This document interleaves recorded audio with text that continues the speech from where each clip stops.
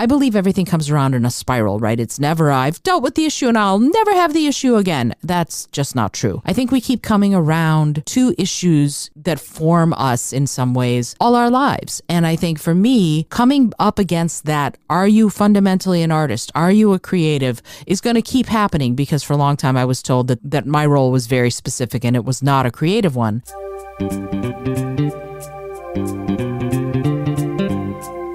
Hello and welcome to the Innovative Mindset Podcast. I'm your host, Izolda Trakhtenberg. On the show, I interview peak performing world changers in the creative, social impact, and earth conservation spaces. If you like what you hear on this episode, you're going to want to check out the bonus mini episode you can access if you become a member of my coffee club. If you do, you'll get access to bonus episodes, new art, new writing, and other fun benefits at buymeacoffee.com slash Izolda T. See the show notes for more details. And now, let's get on with the show. Hey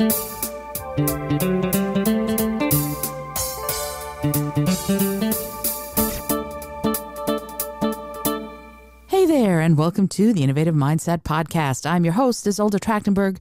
So honored and happy that you've taken the time to be here, not just with me, but with us. Today is an Artist's Way episode, but it's a little different today. So, Alan and Sergio and Megan and I were talking, and we realized we're sort of pushing ahead. Dun da da. We're moving, moving, moving. And not everybody has uh, necessarily the time. Heck, even we don't have the time to just push in every week, every week, every week. So, we decided that this week is going to be a little bit of a break. If you're following along with us and you want to catch up, because you've gotten a week behind or you haven't done some of the exercises or tasks or something like that, this is a week to do that. We're going to be back next week looking at how to recover a sense of self protection. But for this week, we decided that we're going to actually reflect a little bit on how far we've come, on where we started, what we've gone through, and where we are right now in the middle, right? We're between weeks nine and 10 of this entire process. And I eh, wanted to sort of get this notion out about where are we? What has happened? And so Alan and Sergio and Megan graciously agreed to take a break from the actual tasks and exercises, even though, just so you know, Megan is hosting and she was prepared. It's due to me going, uh, I'd love to do a little reflection thing that we are taking this break. So Megan was ready. I was not. And so let's let's go ahead and chat about this. I want to welcome Alan Fessenden, Sergio Giovanni, and Megan Vasilis to the show. Hi, y'all. Welcome. Hi, Izolda. Thank you, Thank Izolda. you again for having me. for having me. I love it. So so yeah, uh, I wanted to take a break, and I and I want to thank you all for for indulging me on this because it is something. It's a it's an intense process. There are lots of things that have happened, lots of things that have gone on, and I wanted to take a moment and sort of pause and reflect on where we started versus where we are versus where we envision ourselves going. So I want to thank you for indulging me in this and joining me. But before we go do that, I'd like to do a little check in just to see how you are. What's going on and and if you're listening to this do a check in yourself too sort of see if you can figure out for yourself where you are right now what's going on with you right now i i can start in fact let me go ahead and start I am highly caffeinated right now, so you might notice I'm speaking even a little faster than I usually do. So I I, I woke up and I made my my morning uh, oat milk latte and then turned right around and made a second one. So I'm very highly caffeinated. And uh, I'm yesterday was my my celebration with my husband of 30 years being together. So we like to say that we started dating. Thank you. We like to say that we started dating when we were babies, but that's not true. I was in my 20s. We were in our 20s and uh and spending that much time with someone across your life is a really bizarre and uh, growing thing, right? This is this is something that I've been thinking a lot about. Is that I've changed an incredible amount since we started dating, and I spent part of the morning today during my meditation really giving that some thought. In addition, of course, I have just started down the road of Creative Earthlings, which you're going to hear a lot more about in a little bit, and I also wanted to say that that you can now join the membership for for this show and everything else that's going on with Creative Earthlings to learn more about the podcast, to learn more about the art that I'm doing. Uh, and you can go to buymeacoffee.com slash Izolda T to get access to super cool bonus material that no one else will ever see, like bonus episodes, little bonus mini episodes from all of the interviews that I do. So I'm super excited about that. So I can bring you even more stuff to listen to and learn with and learn from. And that's my check in. Uh, Alan, how about you? Want to check in? Oh, sure. Absolutely. Izolda, amazing stuff you got going on. I'm very excited to hear more of it, obviously. Um, for me, um, I am, I have a lot of sort of ideas rumbling around, and uh, it looks like I'm going to hopefully start a podcast with my sister where we interview uh, cousins and talk about family lore, I guess is the idea there. So that's awesome. Excited and nervous to get that going. And um, I am, you know, I got to a good point in my script where I need my uh, fellow co-writer to write it, um, to check check in with me and see where we're at.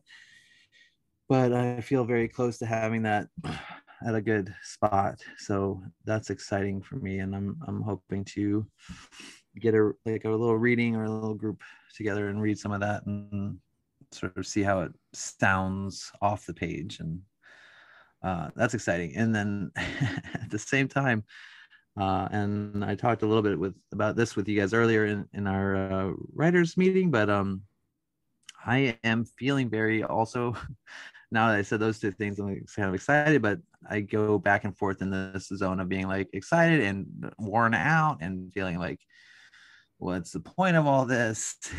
Am I really doing anything? Uh, and I think it's just this weird fog that you live in when you're sort of like excavating and digging and you're just sort of like it feels like you're just taking everything out and making a mess around you maybe mm. that's like a extreme version but i'm sort of just like digging a hole or like thinking of uh, um the woman from labyrinth like what about this? You got to deal with this and what about this? Don't you want to hang out with this? And i was like ooh. So now it's just like everything's everywhere and you're like oh how uh, i just want to crawl back into the hole and forget about it.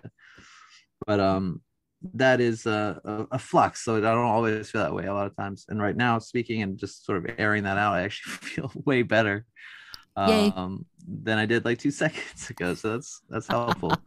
uh, and life comes at you fast, and this uh, this um process is is a real real fun uh, wave to be on. Um, Sergio, you want to do a little check in? Sure. Uh, I'm glad you're feeling better just talking about that uh, Thank you. a little bit. That's great. Uh, artist way. This is some some process. Huh? Um, for me, a quick check-in. It's been uh, my week is still busy. Uh, still helping out my family a lot, getting ready for some visitors, uh, family coming in, and a lot of birthday uh, festivities that we have going on next week. So I'm looking forward to that. On the creative front, I did start writing a new short story. Uh, it came from an idea that spawned from my morning pages which I think that I started to talk about a little bit on our last episode. And yes, yeah, so I started writing that. That's exciting. And oh. also, oh, thank you.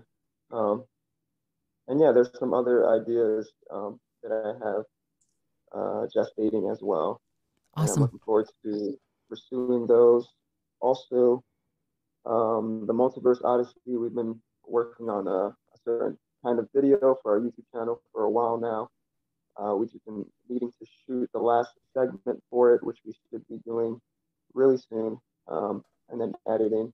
So I'm excited for that. So hopefully, in another week or so, we'll have this kind of cool experimental um, video um, out on on uh, on YouTube. And yeah, I'll definitely talk about that more when we upload that. But uh, yeah, that's just a quick check in on my end. Awesome. how about you? Oh, I just want to say real quickly. Uh, let me remind you before Megan, you go. Sorry, that uh, for example, the link to the Multiverse Odyssey YouTube channel is in the show notes. So if you want to know what all we're working on right now, the links to the various sites are going to be in the show notes. Sorry about that, Megan. Go for it.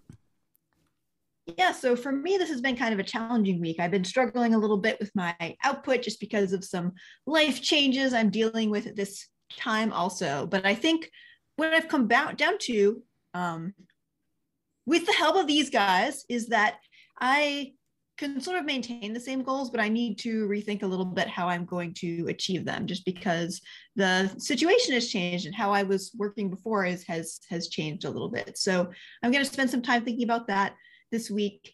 And yeah, for me, I'm still working on my novel. I'm still working on page poems and working on figuring out how I'm going to grow that into kind of a larger brand.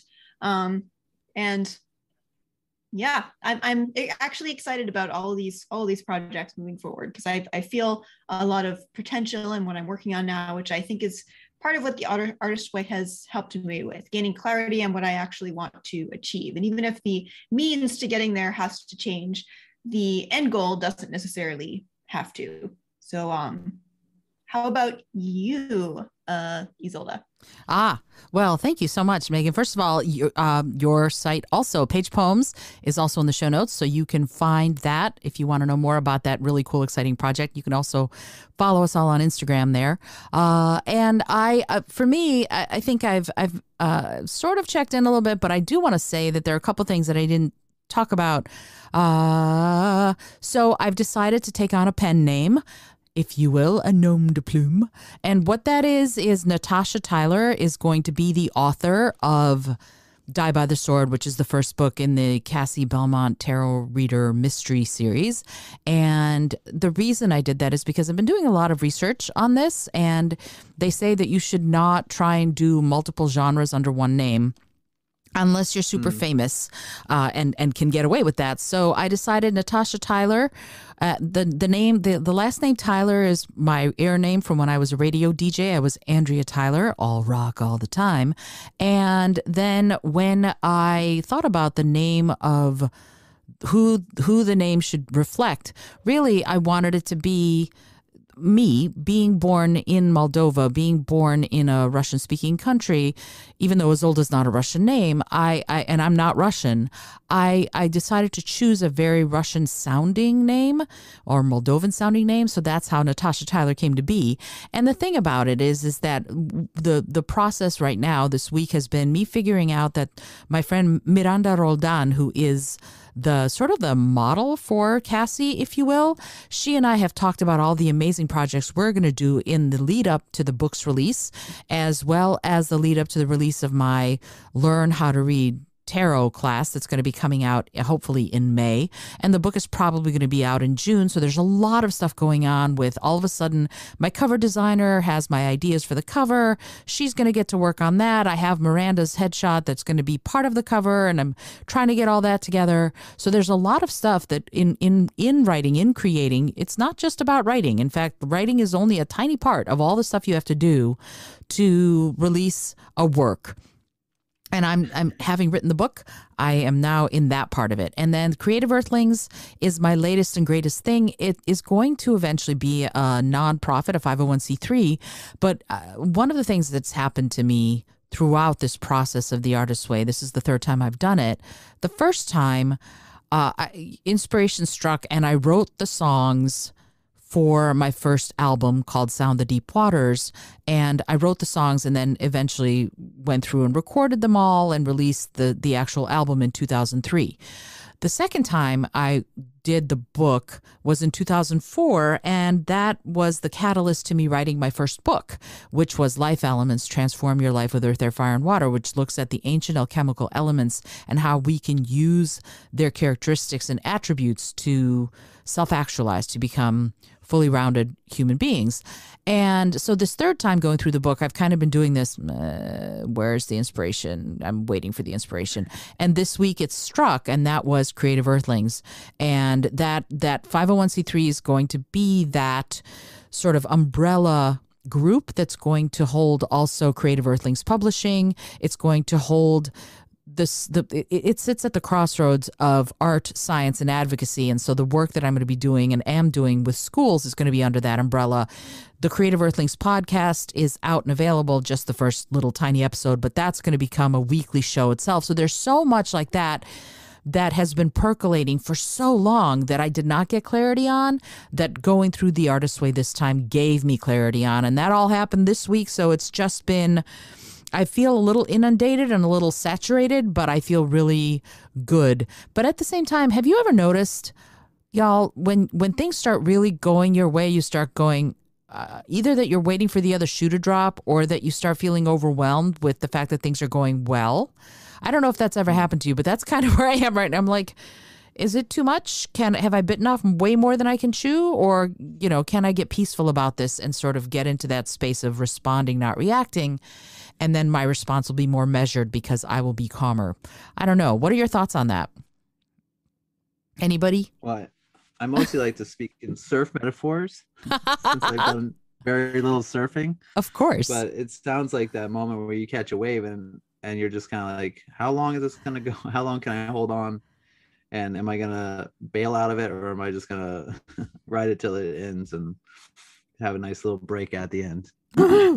yeah. Or will I be able to move on to a next wave after a next wave after next wave, which is I guess something good surfers can do. And so yeah you kind of like surf those waves but it definitely feels like i've definitely recognized that feeling of like okay all right what's happening here? Lots going on. Feels like i'm uh you know like you're being thrust up in a rocket like a well jetpack? Like, mm-hmm. I, how do, do i am i gonna land head first or do i how does this thing go? Yeah. Um but i guess you probably practice that stuff beforehand but anyway that's my uh Uh, I, you do, but it's like skydiving. You know, when you're when you're going skydiving and you go, mm. I have no control for the next thirty seconds. I have no control over my life, over my death, nothing, and it's it's both freeing and terrifying and exhilarating all at the same time. Uh, Sergio or Megan, does either one of you have any thoughts on this? Uh, yeah, that reminds me of that feeling of when, uh, for me, it's like a, it's just too good to be true kind of feeling. Mm. Uh, but also, I like uh, I like the surf and rocket ship metaphors. I love it. Megan? Yeah, I, I also really enjoy that metaphor and just the the feeling of everything coming to culmination, even if you're not exactly sure how it's all going to come together. I thought that was it was really nice how you put that. Awesome. Thank you. So so let's let's dig in a little bit while we're taking this break, while we're going, you know, let's take a week and chill and reflect and and sit with what we've done so far, what we've learned so far. Let let me ask you that question. Uh, what have you learned, Sergio? How about you going first on this one? What have you learned through this process so far? Sure. Uh, I feel like I've learned a lot. I feel like I'm still learning, but think right now, off the top, I will not. I want to share that I've learned to be more accepting of who I am my talents, efforts, and and just what I have to offer overall.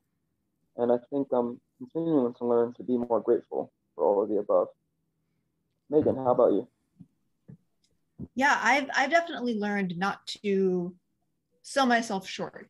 You know that I don't necessarily need to make my goals smaller, but I do need to think through how I'm getting there and the how I might be not not serving the process or serving myself in the way I was kind of going about it before with this just um, without really taking the time to take care of myself. I think that's the biggest thing I've learned from the artist way so far, how important that process of self-care is to um, having a generative um, bank of creativity to draw through.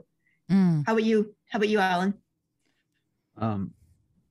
Yeah, absolutely. I think that drawing on that generosity is gonna that self-care is very important. I love that you mentioned that. Um megan i um what have i learned? I i had some thoughts and they immediately as soon as i come to me it's like what was i? Um but i learned that um i need to stay curious and i need to um break things down into smaller pieces and not think about the biggest process, the biggest part of it in the beginning. Like Izolda, you were talking about like, oh, this part of this writing process, it's not just writing. And I think like, great, you're at that point where you got to think about that. But um, sometimes it's not help, helpful to think about all the all the stuff that you also have to do in addition to writing mm. once you write it. But um, so really sort of like thinking in those baby steps, really sort of condensing, thinking small, and just like um not only getting support like having support uh, from you guys is very helpful but like realizing i can i can stay curious and support friends who are also doing work and that's been sort of like I've always I have done that, but I always feel like sometimes it's just like, well, that's not my job, and it's not my job, but I really can do more for myself and for them by supporting them and and my friends and and you guys in different ways. And it's it'll be healthy for me to look at that as like, well, they're doing something I'm not. Well, let me go see what they're doing. They're doing something I also do. Let me see how they do it rather than like, well, they're doing something, but I know what that is, so I don't need to be interested. Um, and and and it's not. I think it sounds. Um, it's just more like I, I I need to get out there. I feel like being curious and being supportive and and finding those moments to like make things a little bit uh, smaller chunks is is sort of my takeaway from this. And I'll toss it back to you Izolda. Uh, awesome.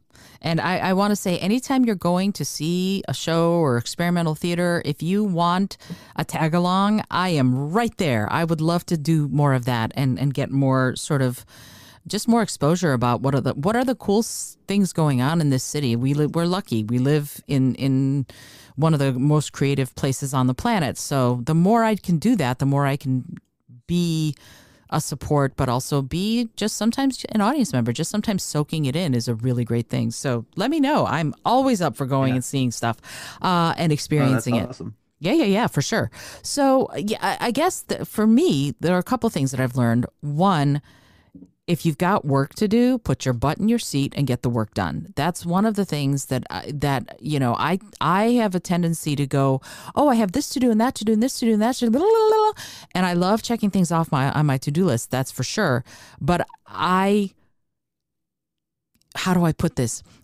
If I work at home, for example, I will notice the fact that the dishes are in the sink. I will notice the fact that I have not yet scooped the kitty litter. I will know. And so I will start going, well, I really should do this and should do that. So one of the things I've learned is I have to go outside to write. I have to go outside to create. I cannot just do it in my office because it's too easy to get distracted. And I need to put my little Brain FM app on. I need to get myself to the library or to the cafe or to wherever, and as the weather gets nicer, to the park, and and do the work where it's appropriate for me to do the work rather than to force myself to do work where it's not working. So part of this is work with what works for you and don't try to force it. So if I have to make changes to how I work, then I will.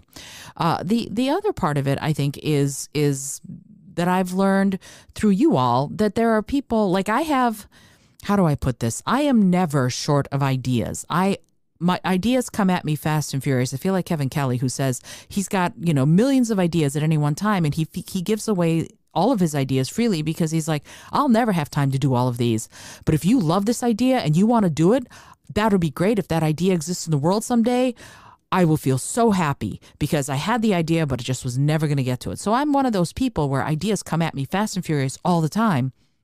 Like, hey, I know what let's do. Let's go through the entire artist's way and and and mm-hmm. podcast it live. Why not?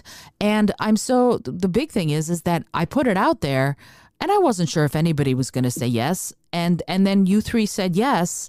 And it it it was sort of a bomb to me because so much of what I've had to do, so much of what I've done has been on my own, right? I a lot of it has been me starting it, sure, but me remaining the leader has been a sort of a primary thing. Like I am the leader. I I I am the person who pushes it. I am the person who envisions it. I am the person who gets it done. I am the person who's responsible. And frankly, you all, like your willingness to, to host sometimes makes me go, I don't always have to be the leader. Wow. And that's a big, huge thing that I've learned because most of the time, I'm the leader. And I don't always, it's not always appropriate for me to be the leader.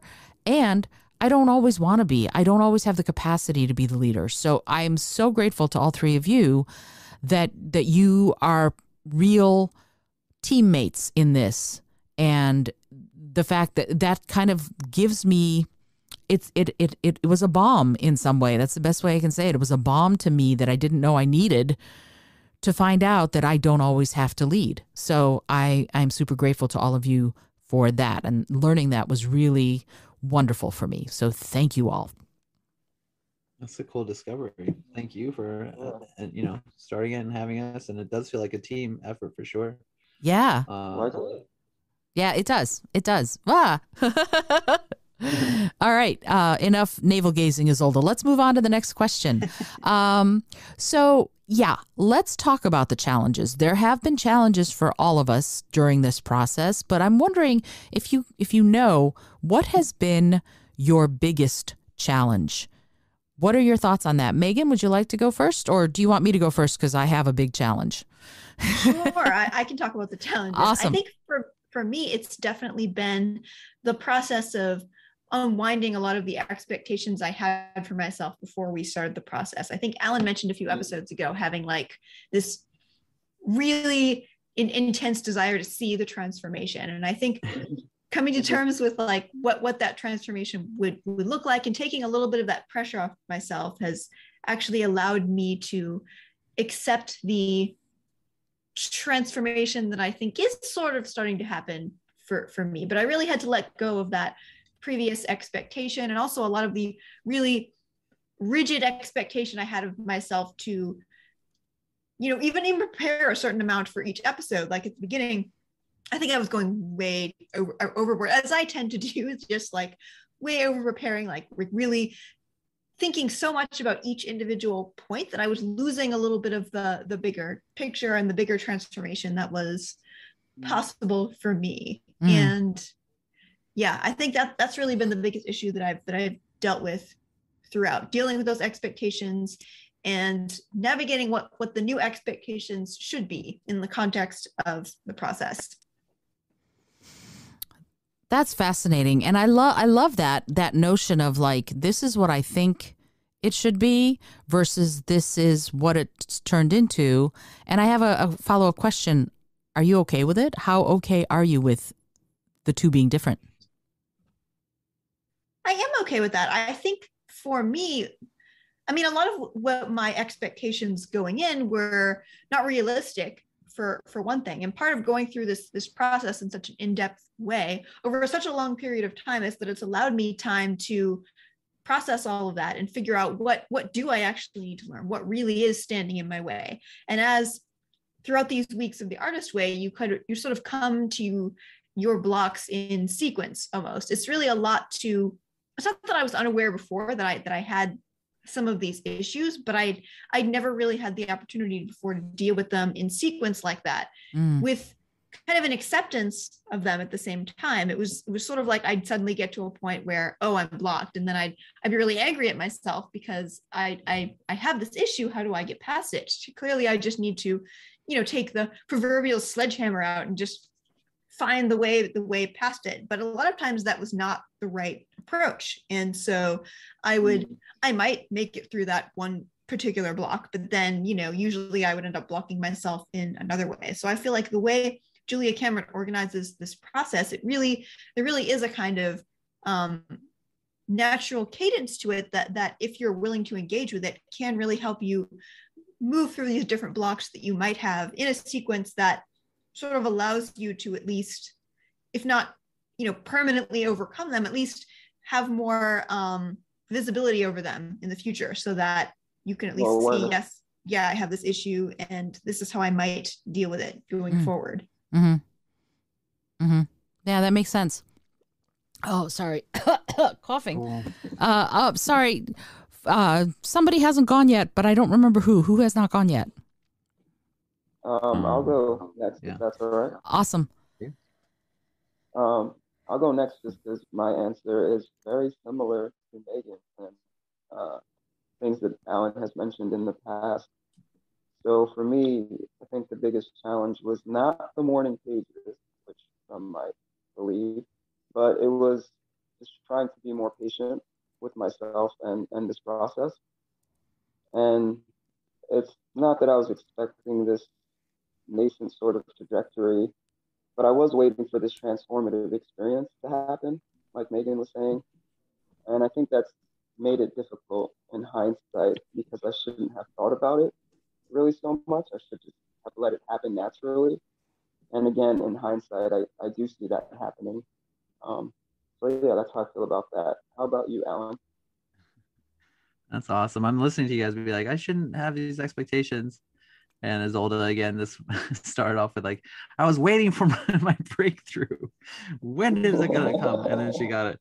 So it's like uh you know, it's not I think it's like part of the promise of this process is that we'll have some sort of uh breakthrough and and but again it's like you, I think if you demand it or something, it's you're going to be focused on the wrong thing, and you won't even know that you're changing. Um, but I think my biggest challenge for this podcast was kind of like I think it was sort of twofold. I think letting go of fear and trusting the process. And I I think I had it of my fear is just like of you know a lot of it's being out being out here talking being vulnerable and being exposed and thinking about um being judged by people from my past or them saying stuff and it's one of these lessons i have to learn over and over again it's like not about the people who are against you but the people who show up and the people who are there for you and and and being grateful for for those people and uh you know or just like being grateful for the support that you have. And i'm you know you guys see me gush about you guys. I'm super just grateful to have found you guys.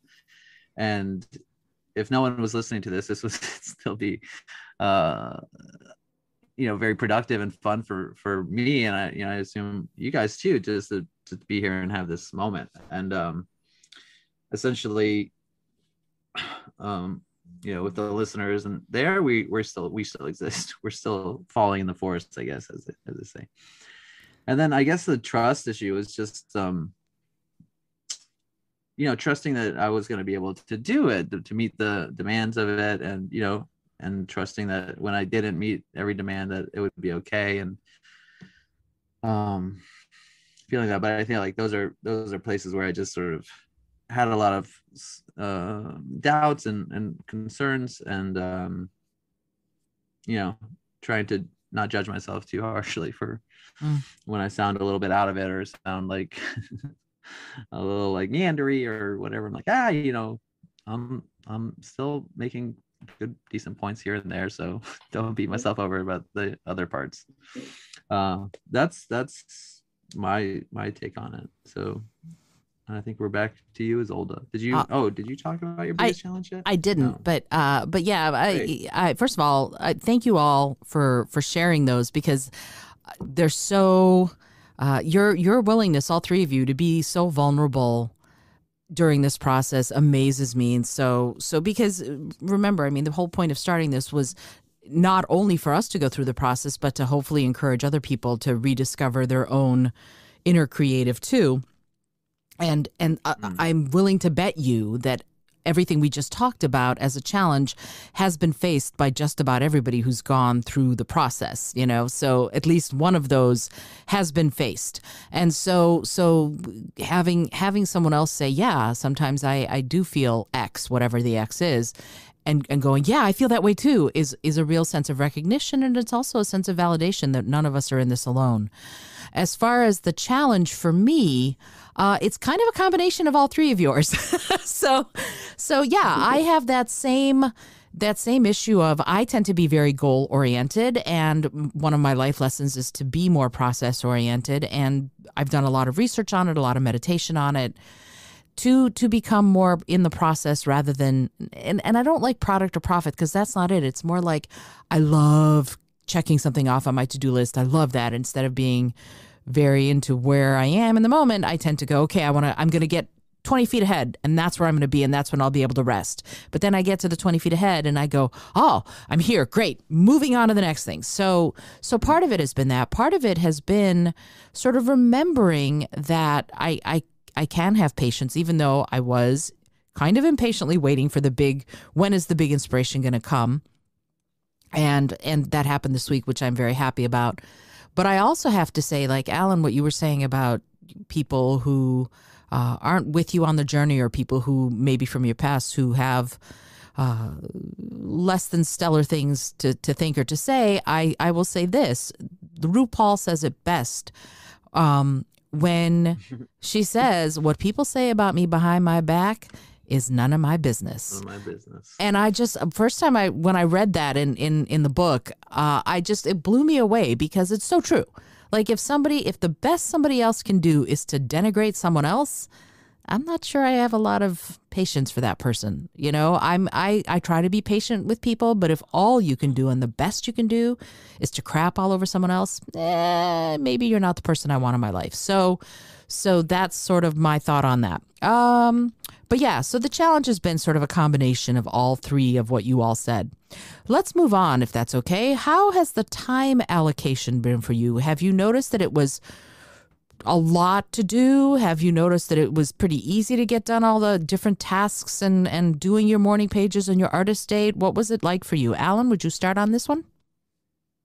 Yeah, time allocation terrible. Um, it's, it's definitely definitely feels like a lot, and uh, you know I'm still in sort of uh, I'm still fighting pandemic brain and not understanding how time works anymore and uh, getting older and just feeling like everything moves faster and then suddenly slower. So how was it for me? Uh, terrible but um, there is a lot to do and then i but i also feel like mm, you know it's like it's not going away and i can still do those things. And i think the first time i did this by myself when i was all alone i was like well, i'm not doing every every task and i don't even think i processed the fact that she says you don't have to do every task it was just mm. important for me i'm just by myself i'm doing this i was doing the morning pages and i wanted to do it and i fell behind on the task and i let myself sort of uh, get stuck in that journey because i wasn't doing it and this this is a process where because we're accountable to each other and we check in it's sort of like a little more okay in a way that i'm not doing everything because i see like you guys have your moments and here and there and that stuff still exists. I can always go explore that stuff some more. And some of what I'm waiting for is like time to be like, oh, let me just refocus on some of this. And like, uh, I did a job at the Javits Center recently and uh, just picked up some uh, of their magazines for like as a fashion thing. And I was, was, like, oh, let me just grab these magazines that are here. You know, there's like the end of the, we were doing breakdown. And um, so I brought those home. And the other day I just sort of started ripping things out that were like, uh, exciting to me. So I'm still like working on a project from I think three or three weeks ago to sort of like um, build that for myself. But I know that that's out there and that it has been helpful for other people. So then I feel it's kind of like okay that some of these things, if I haven't, I don't do them, I can always go invest in them when I have a little more time. But to keep moving and keep uh, keep driving through is is sort of the game here and it's much more helpful than just like stopping obviously. Awesome. Um megan how is the time allocation for you? It's continued to be difficult if only because i think at the beginning i maybe gave myself too much time to work on the projects mm. especially moving through all of the tasks and stuff. And as as we've gone through each successive week i think every time I think I've, I've, I kind of have it down where, oh, I have an idea of how long it's going to take me to get through the task, especially that that's really the most time consuming piece for me, giving myself enough time to not only do the tasks, but, you know, reflect on them and make sure that I'm getting everything out of the tasks that, you know, I think that you're supposed to get out of them. Like, like this week, the chapter itself was short, but the tasks were um, more more time consuming than I was expecting, which I guess we can talk more about in the in the next episode. But there's been a few weeks like that where I sort of had an idea of how much time it was going to take, and then it ended up being this really heavy week for me. Probably just because we were hitting up against you know one of my particular issues or whatever that I needed to spend more time working through. But I think doing this kind of really intense emotional work every week, it really does take not just for me at least, the, the time it takes to read the chapter and do the tasks. I really also need some time to just just sit with it, sit with the reflections, maybe spend a little bit more time on morning pages in a particular week to sort of write it write it through and and move past it. Um, yeah. How about you, Sergio? Yeah, if I can just jump in there, Sergio, if you don't mind, but um, oh, of course. No, it just reminds me because I think she says somewhere in the book, like, oh, you can just take an hour every week to do these things. But yeah, some of the yeah. tasks are like go for a walk for 20 minutes, and then you're like, and then others, other they're like labor intensive and like not like not like heavy labor, but you have to actually physically do stuff, and it's not just like writing answers in a in a in a journal or wherever you write them. Uh, and that's a, a different different story. But uh, sorry to interrupt. Go ahead, Sergio. No, no, that's fine. No, no interruptions. Um, yeah, I think it's it's it's cool that we've all learned to just uh, accommodate this course uh, so that it works for us, but also still actually tackle the things that we should be tackling. For me, as far as the time put into it, it did seem initially more daunting. This was going to be a really big undertaking to stick it through for three months. Um, to be honest, with that being said, I feel like I'm in a space in life where um, I'm feeling comfortable with the time that I'm putting into or, or spending rather uh, with this course. And uh, morning pages are tough, but artist dates and a lot of the tasks have been really enjoyable. How do you feel about this, Izolda? Uh, probably a little different than all of you. I am a, as as I've said before, keep the best, lose the rest kind of person. So, so I have done the tasks that I felt would be helpful, and the tasks like go cut up a bunch of magazines. Yeah, I didn't do them, and part of it is because I went through it before. Right, I I I did that. I I I did everything religiously the first time I went through it. And the second time I went through it, I kind of went, yeah, I don't need to do all of this. I remember this. I, I've done it before. It hasn't changed a lot. I can move on. But I also am very, I'm very interested in taking care of myself uh, on some levels and totally not interested in taking care of myself on others because I will run myself ragged and then wonder why the heck I'm so exhausted. So, what I've been trying to do this whole time with the allocation is I dedicate a little time. And if I feel like I'm getting tired or if I feel like I'm not making anything happen for myself, I'll just stop. So so I did that. But I do want to say, Alan, what she says is actually not an hour a week. She says an hour a day. So oh, well, that's my problem. so so so that's that's that's like that's, seven hours. Yeah, so she said that she it's seven hours. It's roughly seven hours a, a week that she's asking you to put in, uh, and and it's a and it's a lot of time, right? We're all busy. Even though probably if I'd have had the inspiration for this earlier in the pandemic, I would not have known you all to ask you to be part of this. So, so this came when it did, but where everybody's coming out of the pandemic, we're sort of moving towards doing and being out and about, and it's harder to do some of that introspection that you might need to do and some of the some of the actual tasks that she sets out for you. But some of this is evergreen also, right? So Megan is saying these are things that she should work on, for example. These are heavy emotional issues. Well, those heavy emotional issues for anybody, they don't go away, right? In that they're if the, if you don't work on them this week during the artist way when it's talking about recovering a sense of self-protection, well then you might work on them in July when something happens that that sparks it for you and then you work on it then, right?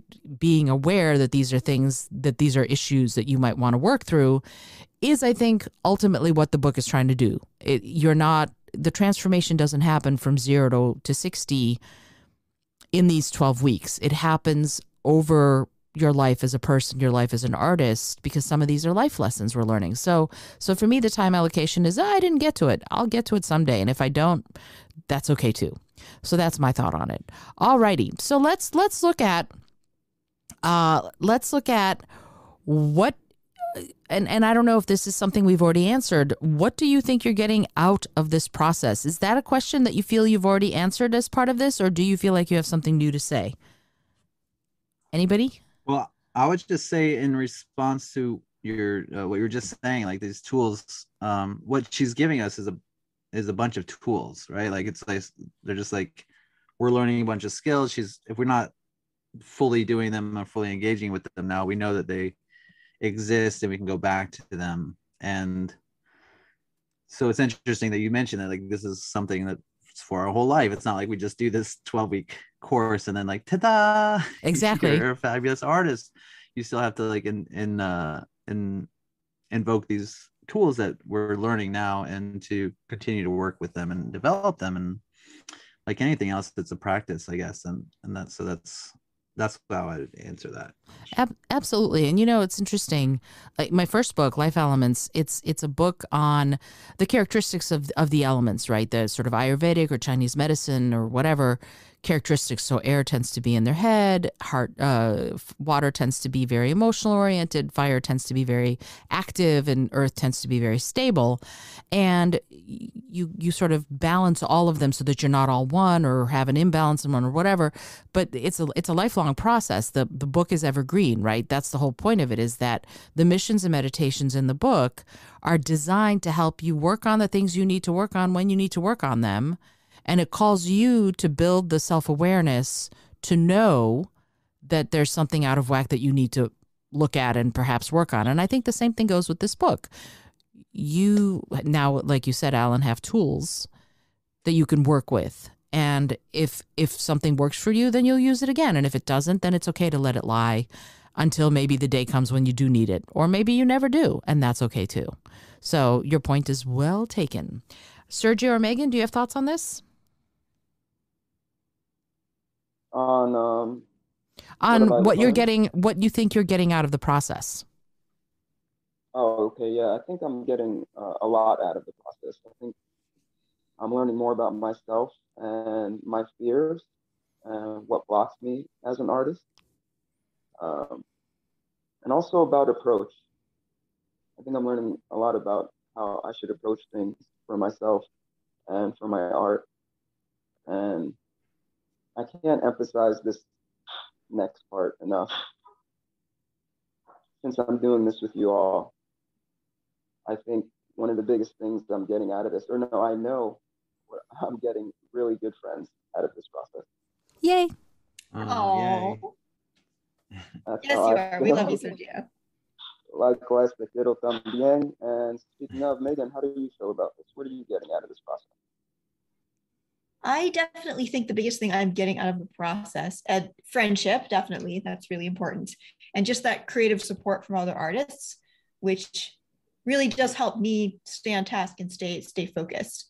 And also just visibility over the big picture issues I have. I think, you know, I may need to go through this process more than once. It's it, like Izolda said, it's really a lifelong thing confronting these issues and finding ways to reach your creative goals despite whatever individual issues that you have. But I do feel like it's giving me a toolkit to kind of go back to when I when I'm hitting a particular block, and also just visibility over when I'm hitting something that that feels like a block instead of catastrophizing like like sometimes I do, or feeling or or deciding that it must be the fault of the project and or or something fundamentally wrong with me. It's it's giving me more perspective i think a broader perspective where i can look at this in the context of oh this is you know something i've come up against before. It's this particular kind of block and this is how i'm going to this is the work i'm going to do to get past it.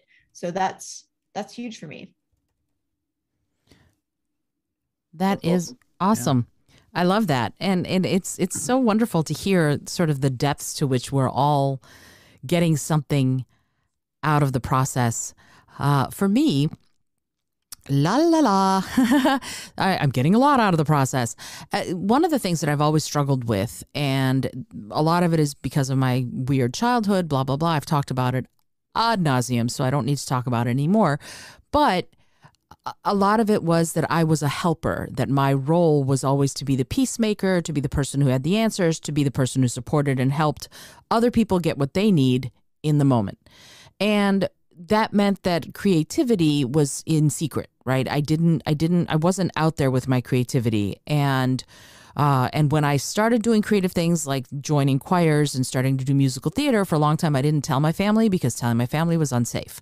So, one of the things that I've always struggled with is to remind myself I am an artist. And I've done it, uh, I believe everything comes around in a spiral, right? It's never, I've dealt with the issue and I'll never have the issue again. That's just not true. I think we keep coming around to issues that form us in some ways all our lives. And I think for me, coming up against that, are you fundamentally an artist? Are you a creative? is going to keep happening because for a long time I was told that that that my role was very specific and it was not a creative one. So so coming around to that and kind of dealing with it again in this process has been eh, eye-opening and revolutionary because on an even deeper level I accept that I am an artist and I and I sort of shout it from rooftops. That's one of the reasons I'm doing my my art piece a day thing is to go, yes, I'm creative every day. Even if it's a silly little drawing or whatever, I don't care. It's me being creative, it's me staking that claim. So that's one of the things that I'm getting out of this process again.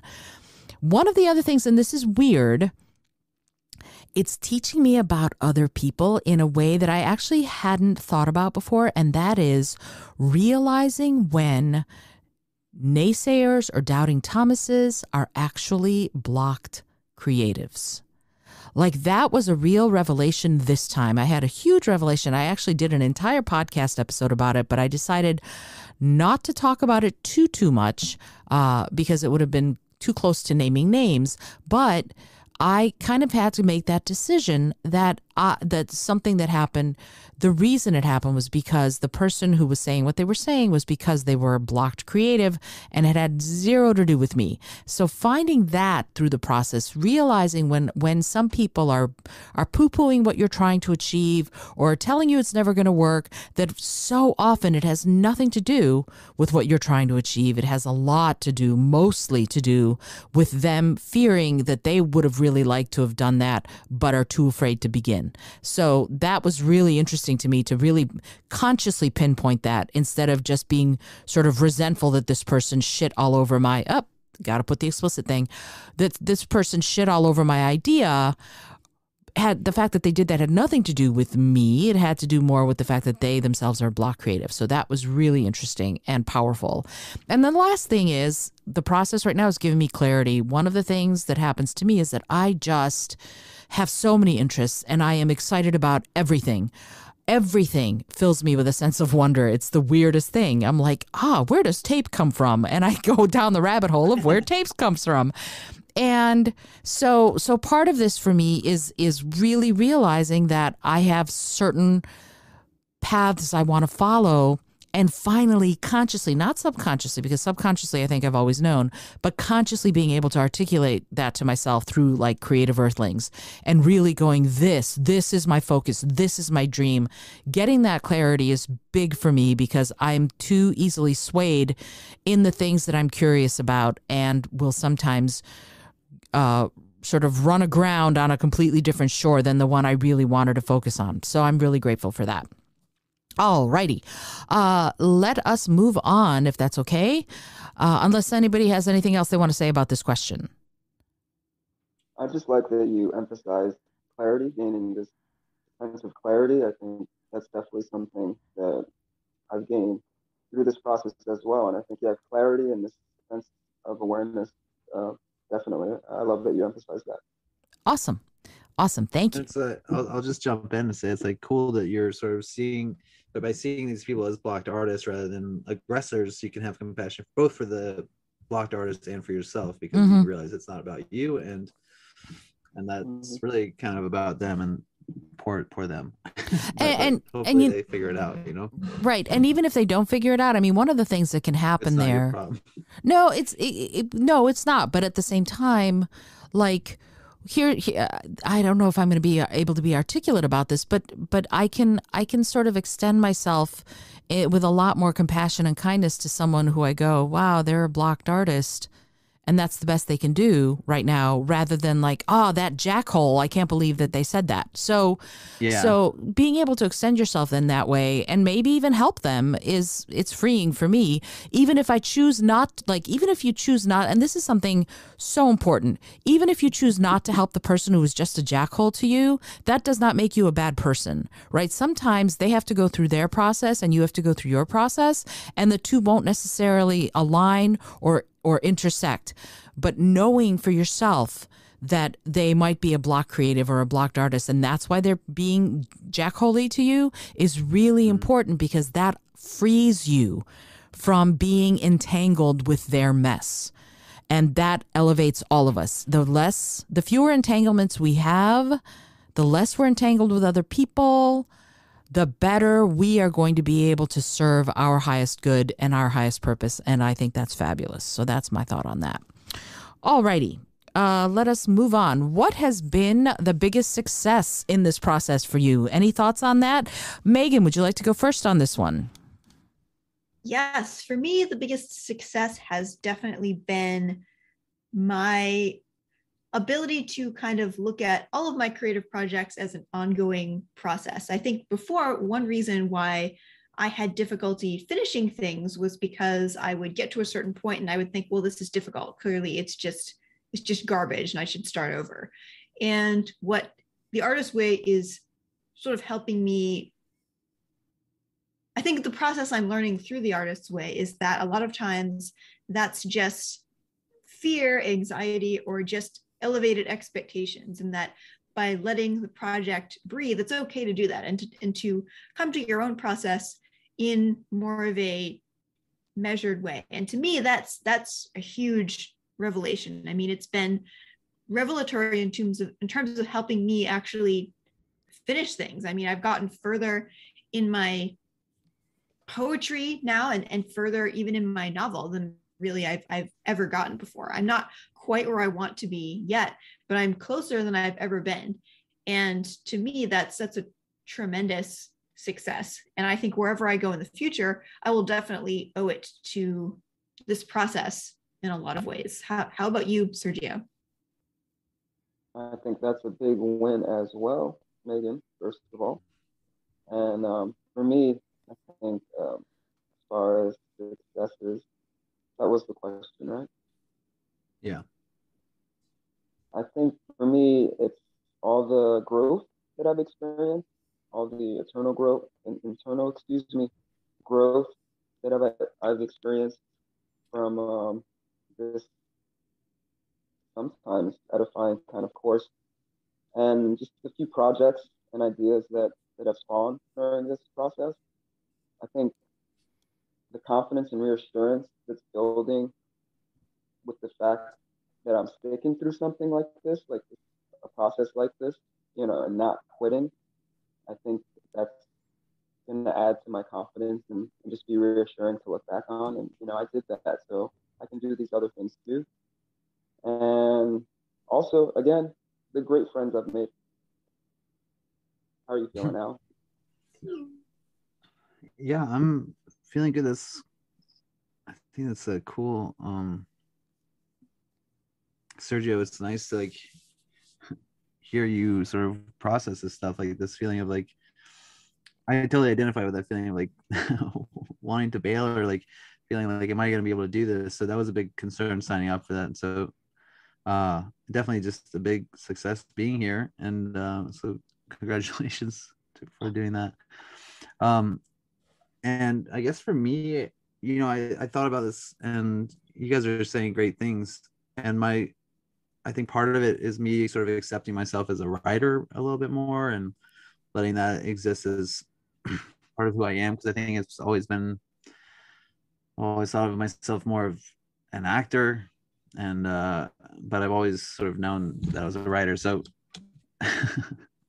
it's been a weird uh, struggle internally, but now I'm sort of accepting that both can be true, and I should give of uh, water and seed to both uh, energies and let them let them blossom together.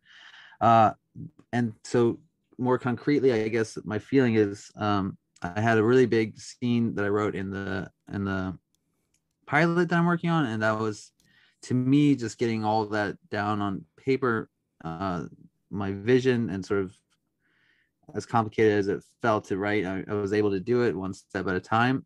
Uh, so that was really exciting. And then another another big writing success is, and I don't know why I didn't mention this earlier, but I wrote you know a clown piece inspired by the four of us called The Morning Pages, the clown Yay. show, and yes.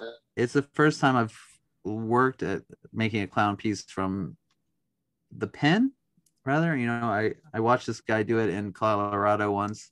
He would come, come in with everything written for his character. We were just doing solo stuff and i was just an improviser clown who would like just would show up and like whatever comes out of my mouth is hopefully magic. And uh so to write stuff down and then to, to write sort of like physical beats of a comedy of a clown piece was is so exciting for me and fun. And then just to hear you guys respond and and uh, the love i've received from you felt really like okay i'm on the right course and this is such a fun thing. And i'm excited to see where that project goes but just to have it um, come along as far as it has is out of nowhere, out of the morning pages. Actually, Sergio, like um, I'm referencing you talking about your story coming out of that, but um, that was definitely something I wrote like definitely a few like maybe a page of it in my morning pages, and then I was like, oh, gotta convert that. Um, so that to those those are my big successes here, and of course, just like accepting myself as a writer and and moving through that. Izolda, what has been your biggest success? Oh, ah, there have been so many. So the biggest one, honestly, is this wonderful. I don't even know how to call it. Team is the best word that I can come up with. All of you um, being feeling like we have because uh, I don't want to say solidified because I think it, it's always it's ever changing. But we, I feel like we we are a cohort now. We are, you know, we're so that's that's probably the biggest uh, that I feel like. Wow, this is it's so cool to have people.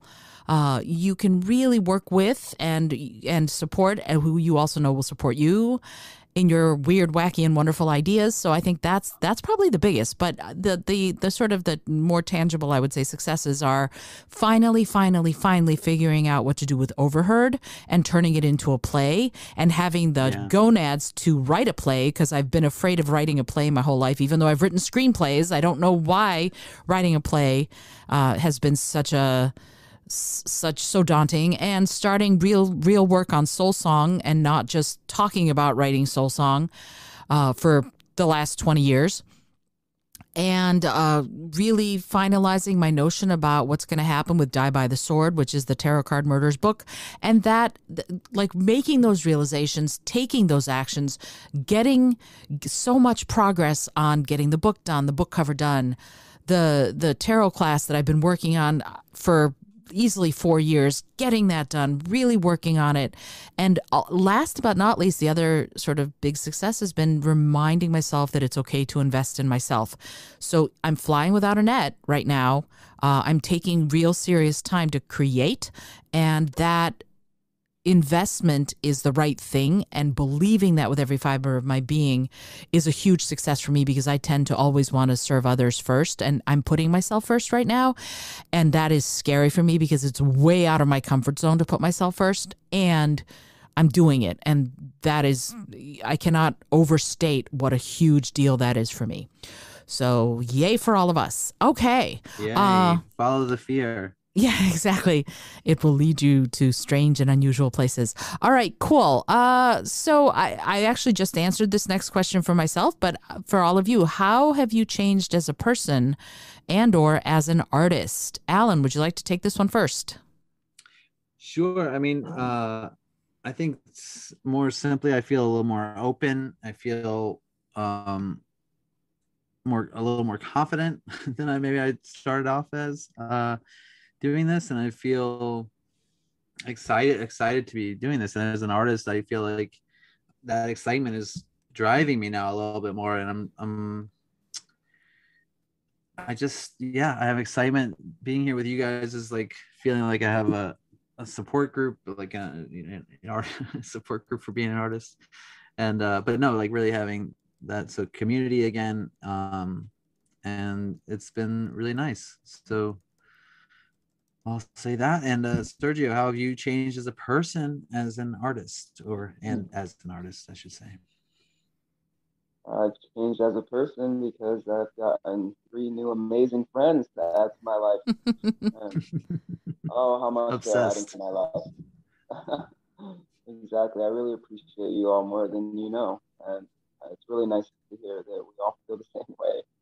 Um, but I think for me, the realization that my procrastination comes from fear, uh, fear of failure, and that I've been my probably the biggest crazy maker of my life or blocker has been myself.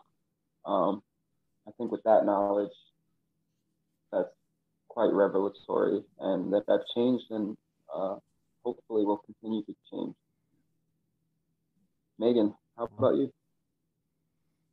I've definitely changed in that I see now more where I need to be a little bit kinder to myself throughout the process, which for me, I think is key to reaching the really big goals I ultimately want to get to. It really was not working before when I was just, you know, constantly in this grind of um in some ways just like self-punishing negativity, you know, like the artist way has really kind of helped me move past that place.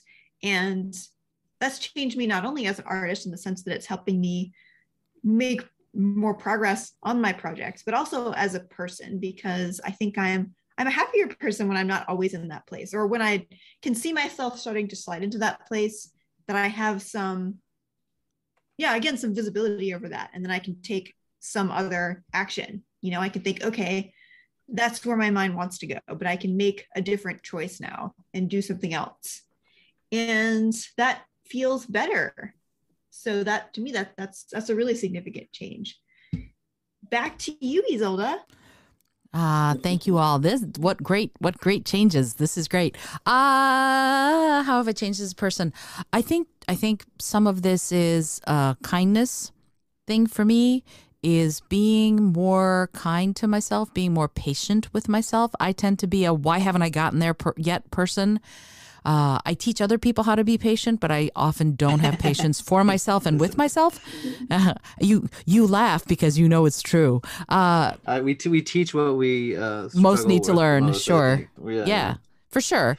And and so so with myself, I'm always impatient with my energy levels. I'm always impatient with uh, what I could have or should have. I hate the word should, but I do it to myself too. What I should have been able to get done. And so, so sort of that notion of like, yeah, I, I am, I am learning slowly but surely to do what I can when I can, instead of beating up myself, beating myself up for what I haven't done. So, and also kind of like I had this thing happen the other day. This, and I think I mentioned, I don't remember if I mentioned it to you all yet, or if you just saw it, or if we talked about it last week's show. I don't remember. But I had this artist contact me and go, I have got to talk to you about your technique. It sucks on, on my creative, my creative art pieces a, a day, the thing that I'm doing uh, in 10 minutes, right? Please remember, I'm taking 10 minutes to do these. It's not like a, uh, an hour and a half or four hours. It's a few minutes every day and and he's like i i cannot be silent any longer your stuff is basically sucky and i need to say all of the different ways that it's sucky and i kind of went you know i'm going to invite you to not follow me if this is bothering you so much please just off you go right whereas before i what was that I'm sorry. I was just screw that guy. Oh yeah.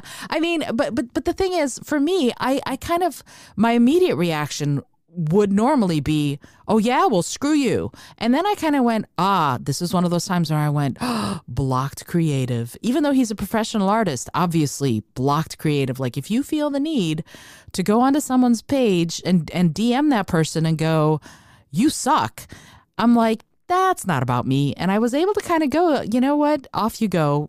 Go, you know, go in peace, do your thing. I don't need to listen to it. And so so that was a real that was part of that recognizing a block creative when someone comes up to you and they're all in your business trying to tell you that what you're doing is sucky. Chances are the stuff you're doing is just fine and they're not in a good place. That's that's kind of where I went. I'm like, this guy's not in a good place. He's probably really frustrated with his own creative output and this is his way of raging against the machine.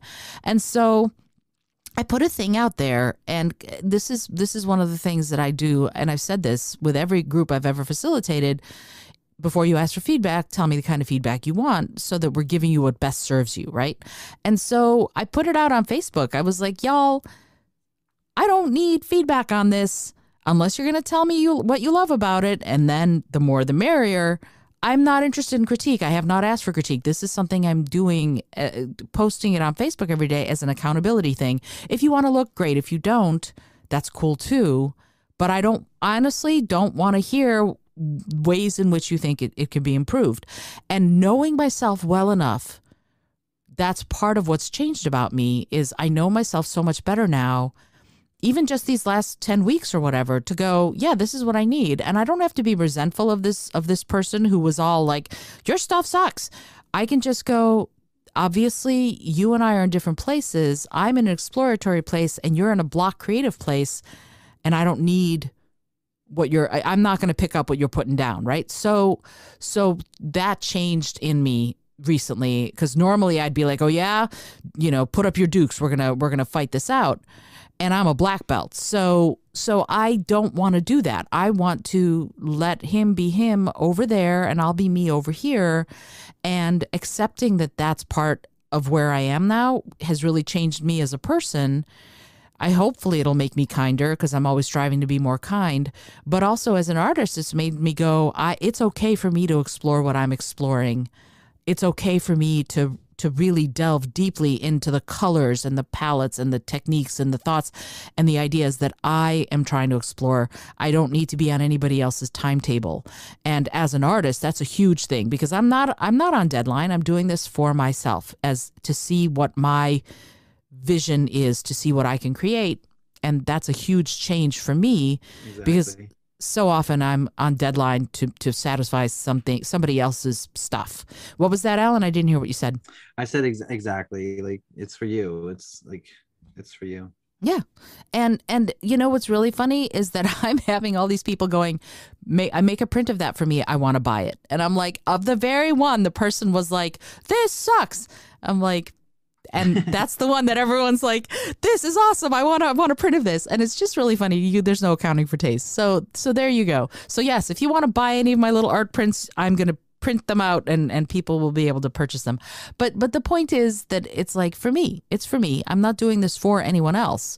But the question somebody raised the question then why are you posting them? And i'm like it's accountability. I want to know that there's somewhere and i treat facebook like my journal. So there's somewhere that i can put up my stuff and just go i did this today. I did this today. I did this today. Not you know tell me that tell me that you love it or tell me that you hate it or tell me what's wrong with it. Don't need that. That's not where i am.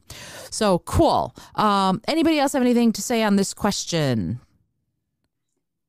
Uh, no i just want to say that i i've seen you all change as people and artists and it's really cool but and if you don't think the change is happening it's definitely happening for you but just know that i've i've seen it in you guys and that's really cool to see that's awesome. And you know, you it's it's hard to to see the change from inside the ship. So uh, mm-hmm. it's really nice to have somebody else reflect it for you.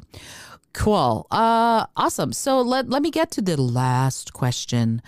When we embark when we first chatted about embarking on this process, we all had ideas about what we wanted to have happen at the end. Is it still what you want? And if not, what is it that you do want now? Uh, Sergio, would you like to go first on this one? Yeah, for me, for what I envisioned happening or what I wanted initially before going into this process to starting this course, um, I don't I don't think that what I envision that is is exactly happening how I thought, but I am excited and grateful for a lot uh, of what's ha- of what is happening at the moment, and yeah, there's just a lot to be grateful for. From you know, obviously we spoke about this process, doing this with each other, and the friendship that we built from that. Um, I'm really grateful for that. I'm really grateful for the writing and the other creative projects that are spawning from this. Um, just the other things in my life, it's, it's definitely definitely giving me a sense of awareness and appreciation for the other things, like the, adv- the advocacy that I do, the YouTube channel, and just all the other things in between. So I feel like things aren't happening exactly how I envisioned them, but I, I do feel they are um, happening. I do feel that I, I'm getting to that point, or hopefully making more progress. And that's that's all I can ask for, right? We're all works in progress, right? Absolutely. For sure. So yeah, I'm just the whip whipping it up over here. That's an acronym for work in progress. And Alan, I must ask you how you feel about this. Yeah, cool. So I, I, um, I, mine's pretty simple. I think like when I first started this process, you know, I wanted to reclaim myself as an artist, and uh, I think I wanted to.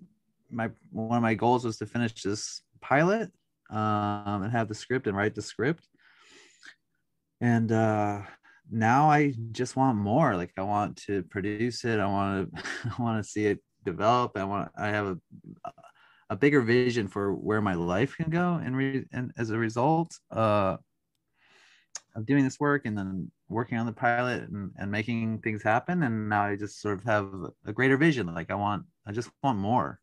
Awesome. Um and i think that's that's where i'm at. Izolda why don't you uh want to light enlighten us on your process here where you oh. thought you were what you're going for and where what you want now Ah, well, I had a twofold process, uh, a uh, twofold idea. I mean, one uh, was for myself, but the other was for the podcast, right? I wanted to.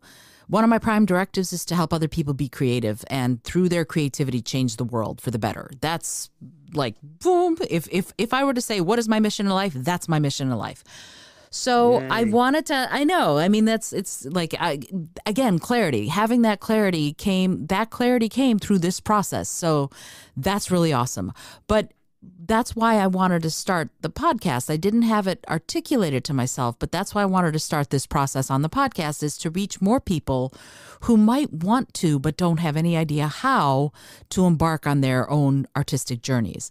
So I wanted the podcast to be a vehicle to reach more than just me, more than even just the four of us, to reach other people who who can be creative, who are already creative, who might not know the roadmap to becoming artists or whatever, but who can then take that roadmap, become artists, discover their ingenuity, and use that creativity and ingenuity to make changes in the world for the better. Boom. So that was one of the things. And yes, it's happening. And I and I and I know it's happening, and that's fabulous and wonderful. For myself, I wanted clarity, which I'm getting with Creative Earthlings, and I'm thrilled to pieces about that. I wanted to have uh, the Tarot Card Murders, or as it's known, the first book is known, Die by the Sword, ready and available to get going. And that to me changed, right? I wanted it to be ready to go to an editor, and I have since decided to forego that process. And instead, I'm going to work on it differently. And the book will come out in June to be your fabulous summer read. So if you're looking for a good summer beach read, this book is going to be great for that. Um, a little plug there. So that's Yay. part of this. Die I know. by the sword. Die June. by the sword in June. Exactly. I wanted to have the the uh over, I wanted to have overheard in a book form ready to go during this process and you know what that transformed and now it's going to be a play and i'm working on it with the help and feedback of these three wonderful people through our writers group and sometimes our, our, our fourth cohort lisa so i'm i'm getting all of the things that I thought I wanted in not the way that I thought I wanted them, except for the fact that I really think this podcast is, and it's going to live on, eh, you know, in infamy. It will live in infamy forever on on the podcast mm-hmm. channels, so that anybody coming through is going to be able to see a way a path through with us. If you want to come in in July and start the process these podcast episodes are going to be there. And Alan took it upon himself for example to create a Spotify pay- playlist that is all it's going to be all the episodes. So if you ever want to go through the entire process yourself you just go by date find the podcast find that Spotify it's going to be the links in the show notes.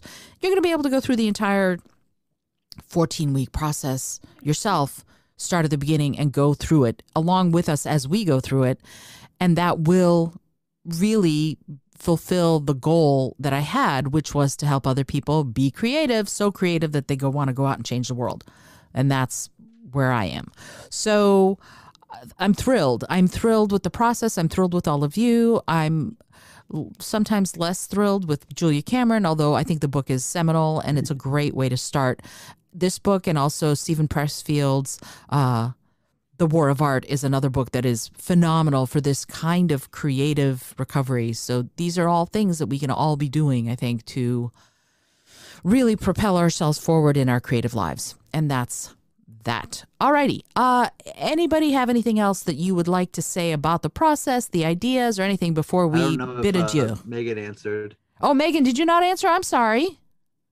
Oh no, it's totally cool. I, I I'll just answer quickly. Um, I think I definitely had some hope when I went into this process that I would be able to find my way past my blocks, but I think I also had a limited view of how that would um, transform my life. So I think I do still want the same things in terms of realizing those creative goals. You know, finishing my novel, making page poems, kind of a larger brand, but um, I do have a different idea about how I'm going to get there. So yeah, that, that was all I had to say. It's, totally cool. I'm so sorry. Yeah, I usually the, I'm last when I, you know, like the pity and everybody and back to you Izolda and I'm like, oh, okay, I'm last. So everybody must have gone. I apologize. My my my apologies yeah. on that. No, uh, that's totally cool. Alan's just shaking it up. We're on this uh, reflective episode. I see he's just keeping things fresh. yeah, that, you know what? I, we'll I was trying to set you up I was trying to set you up so you didn't have to close out after you also spoke. So yeah, uh, see, and and I'm and and that's I I need lunch. I think that's the problem. All right, it, uh, now I can ask: Is there anything else anybody would like to say about this process and this reflective episode? Uh, just no, really it's always been. Yeah, go ahead, Sergio. Sorry. No, you know what, Alan? You take it away because I'm pretty sure you're gonna we're gonna have a similar sentiment. So please, Alan it's always fun to talk to you guys and this has been another interesting talk and, and really enlightening and uh, of course thanks for inviting us to do it Izolda thanks for doing it megan and sergio. It's so fun to be with you guys. And thanks again Izolda for hosting this little break week. Yes I, I second all of the above. Megan nice. any any thoughts yeah, I just want to thank all of you guys for your your sharing, your vulnerability. You're willing to um, go through this process with with me and and yeah, form this little cohort that that we're in. I, I feel really supported by by all of you and I and I really hope that you feel supported by me too because I, I really I really care about all of you and I want to support you in your creative journeys and um yeah I'm excited to see what what comes up what comes up for us in the last couple of weeks of the artist's way. Yes, likewise. Yeah, I think it's going to be really interesting to see where, you know, and maybe we'll do another little bit at the very end, a little bit of reflection on this, on on the process and where we go. And I appreciate all your words so much. And it's true. I mean, we've developed this this bond, as far as I'm concerned, that that is something that's that we're going to carry long past doing this artist's way uh, project together. But also, I, I want to extend something to you if you're listening this is something that you can do too, right? You do not have to, you don't have to follow along with what we've done. But if you decide to, ask a friend or two if they want to go on it with you and go on the journey together and see the kinds of things that you come out with. Chances are they're, they're going to be, some of them are going to be very similar to something that Alan, Sergio, or Megan or I have, have said or thought. And chances are there's going to be some stuff that's very different. But if you have someone along on the journey with you, it's incredibly helpful because it just gives you a, a, sounding board and a support. And so so reach out, find a Facebook group that's full of writers. You can do you don't have to do it in person. You can do it virtually like we've done and just go through it together and see what you can come up with because being creative is our birthright. Doggone it. And I, I like I always say, the very first thing you do when you're born is you breathe. The second thing you do is you express yourself through crying. So you make sound, you get your you announce your presence with authority, and that is the key is creativity is making something out of nothing and you have the opportunity to do that. And if you choose to change the world for the better with your creativity, so much the better. Until next time, when we were going to come back next week, and Megan is going to host the chapter on recovering a sense of self protection. I, on the behalf of Alan and Sergio and Megan, want to wish you a great week and a creative time. And please remember, everything is in the show notes. If you want to support the podcast, I'd love it if you'd like to buy me a cup of cup, cup, a uh, cup of coffee. I like my latte with oat milk, just letting you know. Until next time, I remind you to be bold, be creative, and most of all, be kind.